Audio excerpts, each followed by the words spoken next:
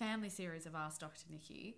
I actually think I did this because I couldn't be bothered to come up with responses myself. And sometimes it gets boring though, looking into the camera. Imagine I do this all day, a lot of the time. And I go, I'm sick of seeing just my face. I want to see someone else's for a while. Fair enough. And get somebody else's opinion. Exactly. So mm. torture my family. Okay, so this is a question specifically for you that somebody wrote in when For I me? announced. Yes. So I announced to everybody that I was going to be doing Me as your mother or me as me? me as your mother. Oh, What do you mean you as you? As me, thinking Like as my yeah, mother. They were asking me, yeah. Yeah. They Okay. knew they were asking Okay. you. I do put you on social media. They know who you are. Okay. So, dear Dr. Nikki's mum, Mm-hmm.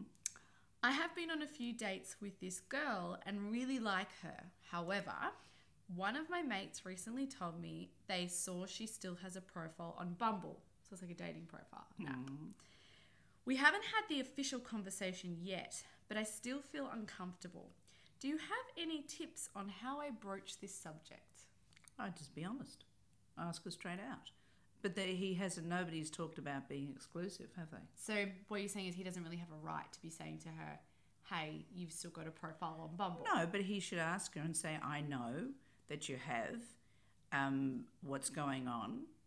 But until he sort of, I, I believe, until he sort of says to her, let's be exclusive, or, you know, can you, be, I don't know what you say. Are you my girlfriend or boyfriend or, you Let's whatever. go steady. Yeah, he's got no right. I mean, there's no commitment there, is there?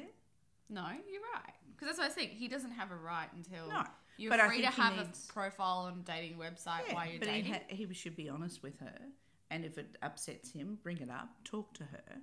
But no, if he wants her not to have a profile, then he has to say to her, you know, I want us to be exclusive, and I want you to be my girlfriend. I don't want you to see anybody else. Because I had this recently with a with someone Hmm. I know.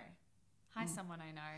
And I thought to myself, what right does a guy have to say he feels uncomfortable Can't have your cake and eat it. with you on a No. dating site if No. he hasn't said No. to you, "Hey, I'd really like to be No. exclusive"? I mean, we don't know how many dates they've had. Yeah, true. No, There's a it- problem with and you just write and you don't give me much information to go by. no, but it could be early in the relationship, and if we haven't sort of discussed where we're going or what's happening, no. There you go. There you go.